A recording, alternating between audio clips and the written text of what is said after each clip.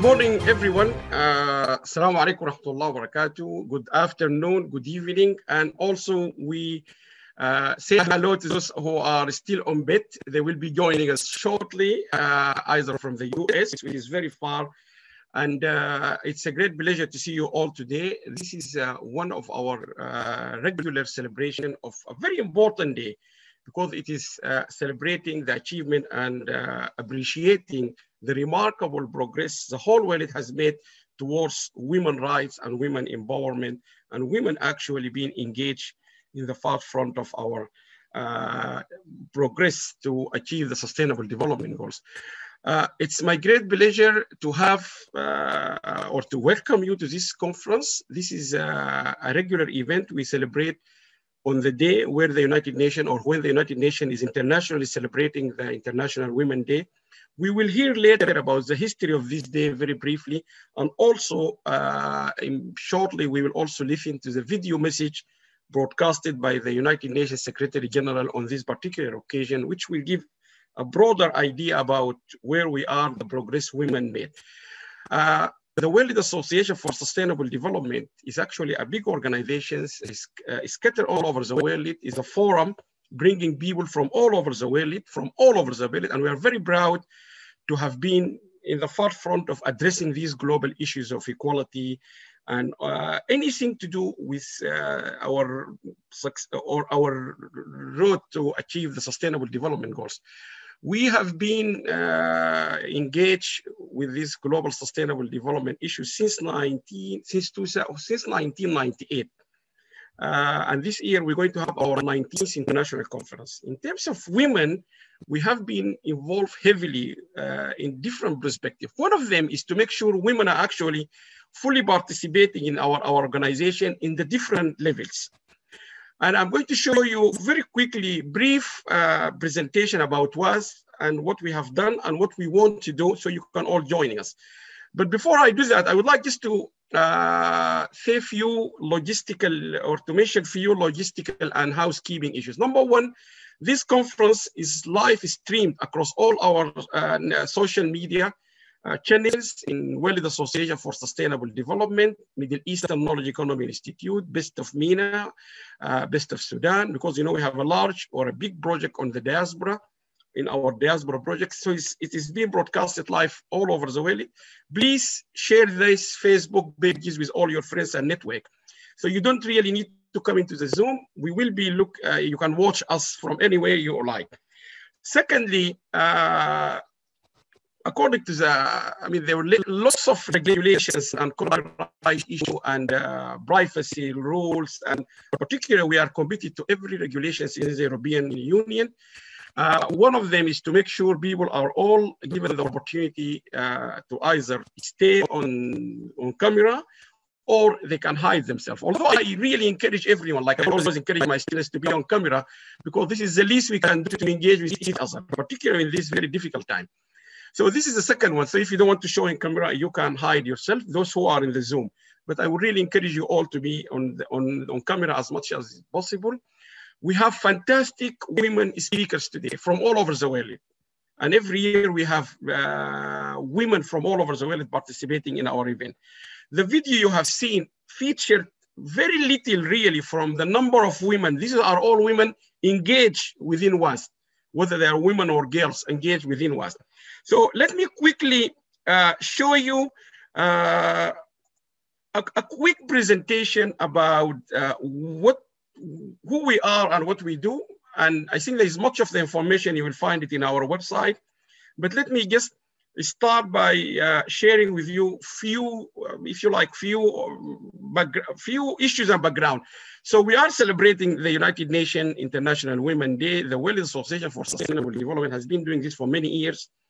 But who we are and what we do Uh, there's plenty of information in our website, wasd.org.uk. Please go to the website and read it. And you will see uh, the, the work we have been doing. A global forum that bring together experts from across the world. That's really the bottom, if you like, uh, or the core or the values which you are trying to achieve. We have started 20 years ago advocating ourselves to help the developing countries to bridge the gap with developing countries so people they know about them, we learn from them, and so on. So you can see lots of uh, stuff in the website. We are academic, professional, and non-political organization. We promote the potential of everyone across the world, not necessarily in the United Kingdom. And we are very much advancing the knowledge in developing countries, particularly in Africa and Middle East. We have worked a lot there. We facilitate the exchange of knowledge, and we also bring together experts from across the world. Quickly, there are 17 sustainable development goals, but one of the really important one we believe is the partnership for the goals. And that's what we have been trying to achieve in our work. We really want people to come together from all over the world. Men, women, black, white, uh, different ethnicity, religious. We, we just want people to work together. We have lots of partners who worked with us in the past. They are still working with us. I'm sure these slides are not very much updated, but these are at least give you example. We work with everyone, United Nations agencies, excuse me, governments, uh, commercial, uh, sorry, um, uh, private sector, students, universities, publisher, all, all over the world. From San Lucia to UAE to Bahrain to UNESCO to South Africa to Sudan to everywhere in the world. We also have clear and strong partnership with United Nations Children and Youth uh, major group. We are very keen on the young and the youth. We have lots of activities, including conferences, teaching and learning, debates and seminar. We publish uh, four or five book series. One of them is very famous, is the World Sustainable Development Outlook. We have lots of international journals, all international affiliate journals. We do development projects. One of them is very, the famous project we did. We transferred uh, the one of the largest library of science and technology policy donated by the University of Sussex we gave it to Sudan. We transferred it all the way to Sudan and East Africa. We have a very rich uh, online library. We have a very strong expert directory where you can actually communicate with people. And we run lots of high level interviews. And we also have big projects on youth engagement.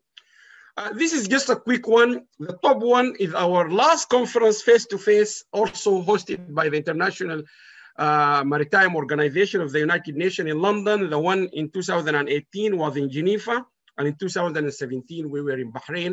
And this is how we do, we travel, we try to engage people from all over the world. Everything is available in our website, but just to give you a glimpse of our 2018 conference in Geneva, you can see on the opening ceremony, there are more women than men. And it was remarkably uh, acknowledged by the United Nations itself.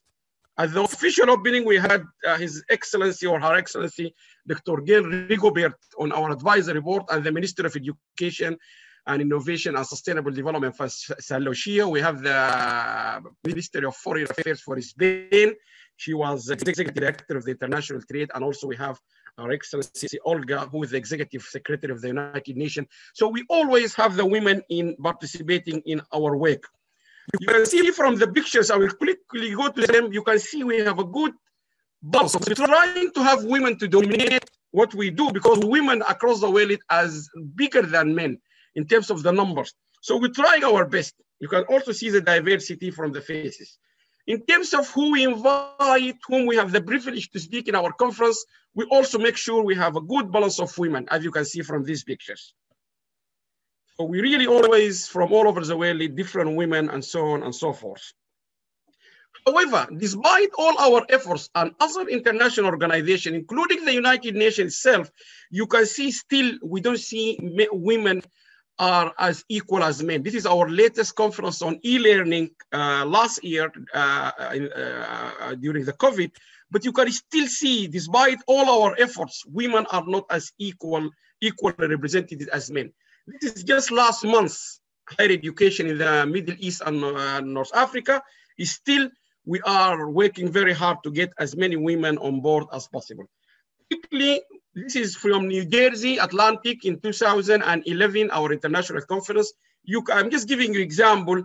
You can see how we always been very keen to get women in on board. This is from Bahrain. This is from uh, San Lucia. This is uh, interviews we run. This is one of them was from the UN um, uh, ambassador, CAM ambassador, which is a young girl from United Arab Emirates, Suad Al Hamadi. Uh, this is one of the winners of the of the of the 2020 uh, Young Talented for Science and Technology by UNESCO. She's a Sudanese doing her PhD in South Africa. So we are engaging with women, trying to get them. We are very pleased today. We're going to officially launch our newest journal, which is World Journal of Women and Sustainable Development, and also our World Journal for Sustainable of Youth and Sustainable Development. This is a picture from a training we conducted for the police leaders in the Middle East, particularly United Arab Emirates. The two pictures, you can see them. They came all, all the way to us. I remember at the University of Brighton, they were being trained on knowledge and learning. This is one of the examples. We have run this in, uh, in London. It's about uh, human rights and women as leader in change and development, uh, in, engaging with the United Nations and UN Habitat. This was a workshop in Sudan. You can also see the number of women is really, I'm very pleased to see all these things happening. This was a, a workshop on uh, implementation of sustainable development public policy. This is our library. You can please go and browse it, share it. We also try in our expert directive to feature women leaders. On the top here, you have Dr. Suhair Hamad Nil. She was voted the best surgeon in the United Kingdom and was given that award by Her Excellency, the Prime Minister at that time, uh, Theresa May. And we're trying to feature all these people in our directory. This is one of our really, one of our founders and one of our distinguished women leader across the world, Professor Beverly Anderson. She used to be the Dean of the School of Business at um, California, San Marcos. She is really one of the examples. We're really very proud to see her everywhere, not just in the US, but she's a global character. She used to be the, the president of the United States American uh, Marketing Society and so on. So we have people engaged. This is our youth engagement program. This is a picture from Bahrain. We're very proud when we saw this. This is a group of girls and boys in Bahrain. And the girls are dominant, as you can see, trying to solve problem of conflict, uh, terrorism, how people they can live together. So we have been really engaged with many of these uh, initiative. It's called Together Safe, which is a brilliant uh, role by women in terms of helping others. This is a library I told you earlier.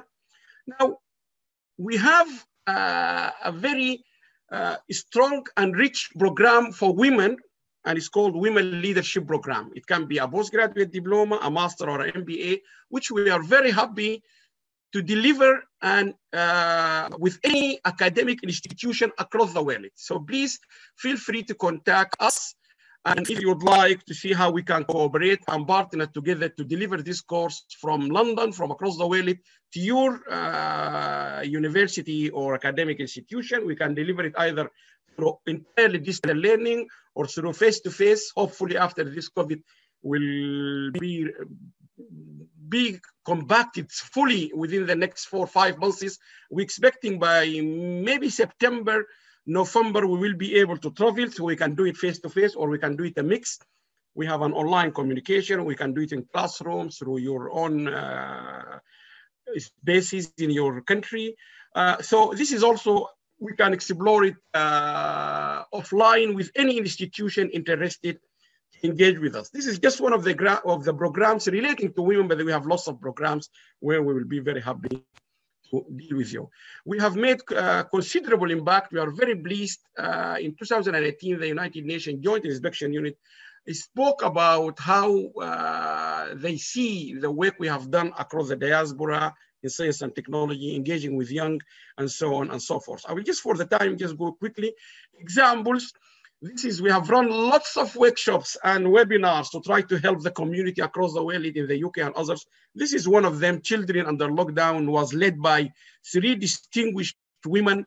One of them is a, is a well-known head teacher in London, Remy, a professor of physiotherapy from Cairo University, and a, a, major, a senior consultant from United Arab Emirates, Dr. Amani, and so on, and with also involving kids, as you can see them. This is a very, uh, one of my favorite pictures from Indonesia, from University of, uh, in Surabaya, uh, Airlangga University. I was very pleased to see women leading the university. And this picture, I like it very much because it involves all level of women engagement at the university. From a senior professor uh, I think one of the deputies of the of the rector or the vice chancellor, to a postgraduate uh, researchers, to one senior administrator, to a student. So you can see all level really well uh, represented here. This is from Sudan when we went to Sudan. And in Sudan in particular, women have played a critical role in really eradicating not just dictatorship and fighting against dictatorship in Sudan because Omar al-Bashir, the president of Sudan, who was ruling Sudan for 30 years, has made major, uh, if you like, changes to democracy in the whole region, in Africa or uh, Middle East. And women have been in the leading front of, of, of really uh, leading that revolution in Sudan. And this is two major pictures. They have been spread all over the world. On my right hand side, this girl, uh, uh, really, uh, I don't know what to say, but she is, she was being cited across all the media when uh, the, the, the, the, military services were trying to try to stop and kill protesters. This girl was actually stood or she stood for all the guns and and she was actually throwing back what they have been throwing at the protesters. So she was uh, taking even live ammunitions. Uh, I think this is one of the pictures she was being given an award, but she really one of the major names fighting in front of even men and boys. I mean, the picture you will see on videos, she was she stood in front of men, women, men and boys fighting against uh, military and uh, uh, security services. On the second hand, this picture also for Alaa was very famous, uh, which I have seen in, may, you may have seen it across the world. So I would like to finish here. This is the last time I was, or we had the opportunity face to face. This was a big march by women from all over the world in Oxford Street in London, 19, 2019. The last time we were able to meet face to face.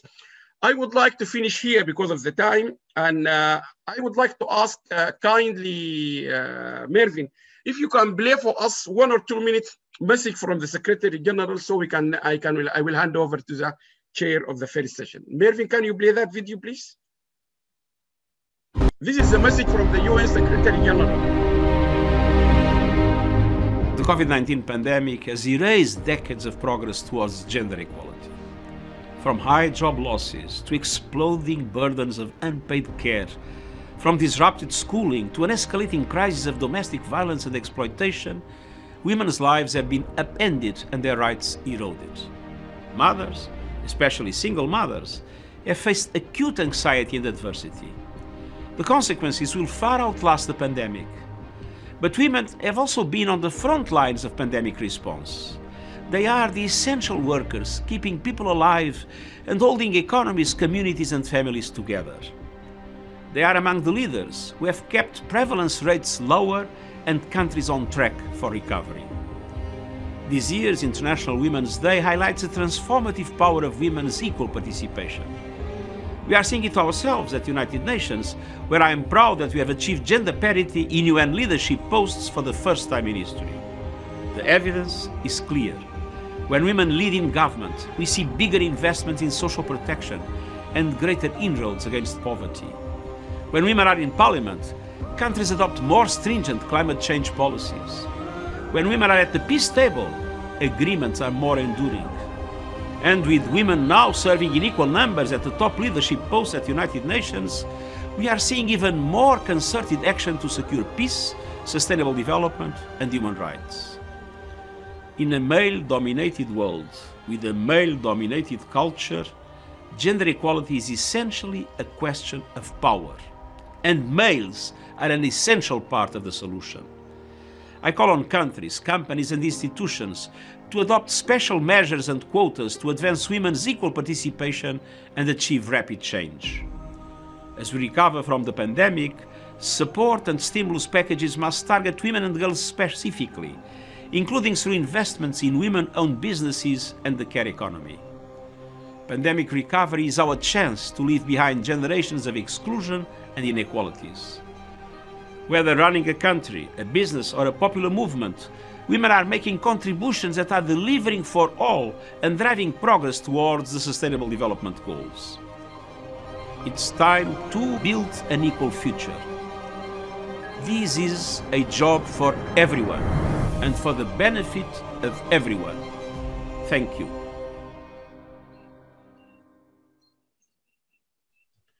Uh, thank you very much, Mervin, and uh, uh apologies for uh, the chair for just having more few minutes. I am going to stop here, and please feel free to browse our website, contact us, and we will uh, take over. I would like to, to start by thanking everyone who contributed to this event, starting from Mervin. You have just seen him the remarkable Mervin who is doing all this job, all these videos is Mervin, Janet, all the people who are watching us, and most importantly, the women leaders who are going to join us now from all over the world. They have given up a critical time of their day.